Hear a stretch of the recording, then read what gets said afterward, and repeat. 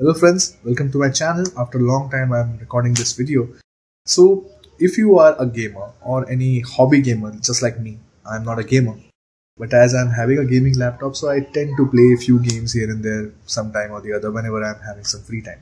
Right? So in this video I'm going to discuss and show you how to calibrate a gaming controller, a cheap one obviously i'm not going to talk about the expensive xbox game controllers or any of those game controllers which are available in the market which are quite expensive right? I'm going to show you an alternative uh, which i found uh, during the amazon sale.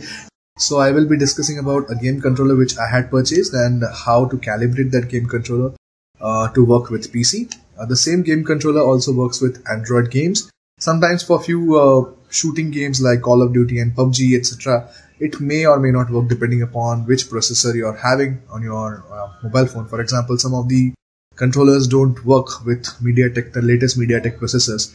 So if you're having a Snapdragon processor on your mobile phone, then it should work. In this video, I'm going to discuss about how to calibrate your uh, gaming controller or gamepad, whatever you want to call it, with your PC. I will also show you uh, a very beautiful website using which you can check whether your joystick, your game controller, your gamepad is working perfectly or not. So without wasting much time, let's get back to the screen and let me show you how to do this. Thank you so much. So as you can see on your screens, I have actually shown a split screen view where on the left hand side you can see the joystick and on the right hand side there's the controller calibration website. I will share the website link uh, in the description box. You can go over there and check out how it works.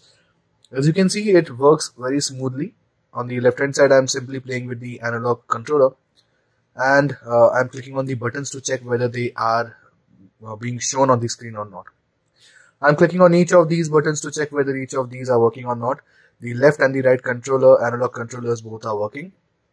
The top triggers which are basically used for uh, shooting games. Now let me show you how the vibration thing works. It has also a vibration motor. So if I click on it, uh, the device vibrates. It's very handy for uh, click and shoot games, racing games where you crash into something. Uh, the joystick vibrates to notify you that you have actually crashed into something. As you can see, this thing actually works. So I will also share the link for the controller which I have purchased.